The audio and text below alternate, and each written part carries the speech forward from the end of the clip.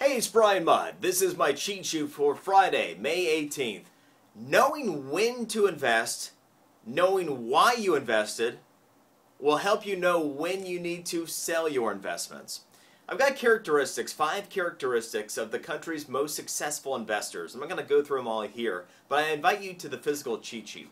In essence, it gets down to something that I've responded to people for years because a lot of people uh, would ask me over the years, for a stock tip, for example, since you know predominantly I'm a stock guy, and I, I don't do that. I don't give people just a tip because if you don't know how to use that, even if I think that it's the right thing to be doing right then, if you don't know when to sell or how to manage that investment, there's no point in knowing that maybe it's a good opportunity right now.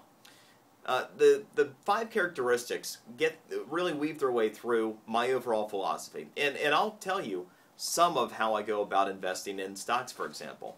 You know, I invest in companies that have more cash than debt on their balance sheet, companies that are growing revenue year over year, and that pay a dividend that is better than what you can get in fixed income. Now, there are other things that I narrow down from, from that premise, but the key here, and this is true of any investment, those are the reasons under which I will invest to begin with, right?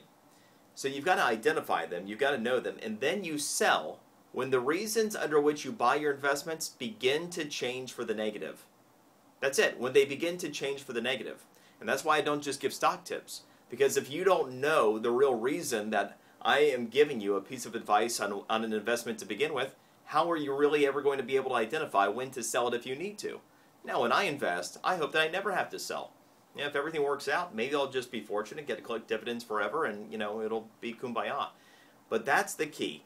When you're investing, whatever it is, know the reasons you invested in that company or whatever the situation is to begin with. Stay on top of it.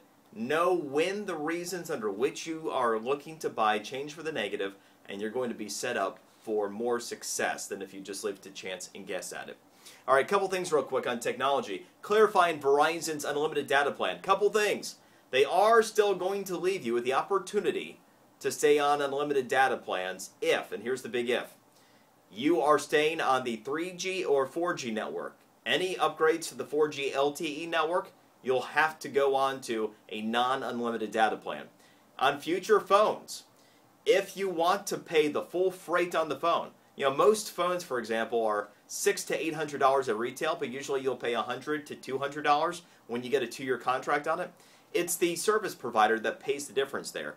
Verizon will no longer allow grandfathered people to stay on the unlimited data plan if uh, they uh, are going to have a subsidized phone. So if you want to pay full freight for a phone in the future and you're willing to stay with 3G or 4G, Verizon will keep you on there. Obviously, it's going to be a very small group of people. Um, Comcast, meanwhile, this isn't going to make them any new friends.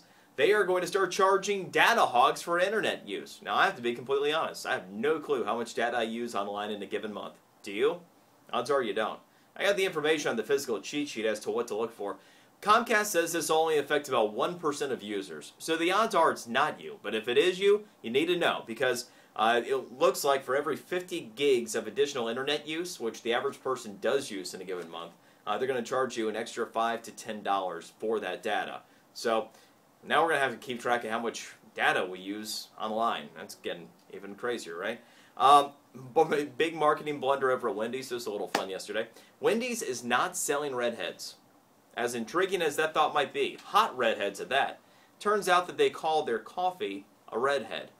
So when Wendy's put out some coupons for free redheads, free hot redheads, confused a few people yesterday.